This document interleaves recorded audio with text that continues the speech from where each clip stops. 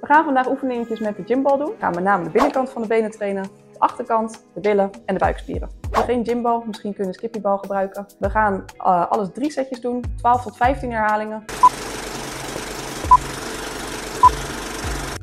Leg je hoofd ontspannen op de grond. Zorg ervoor dat je je rug goed in de grond duwt.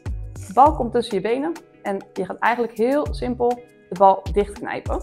Dat lijkt een heel makkelijk oefeningetje, maar je voelt vooral de binnenkant van je benen, de buitenkant en je billen. We gaan de buikspieren trainen. Zorg ervoor dat je je rug weer goed in de grond drukt. Bal is tussen je benen. Je mag het moeilijker maken door weer heen en weer te veren. En anders ga je gewoon proberen om de bal aan te tikken. Komt omhoog en wanneer je omhoog komt, blaas je uit.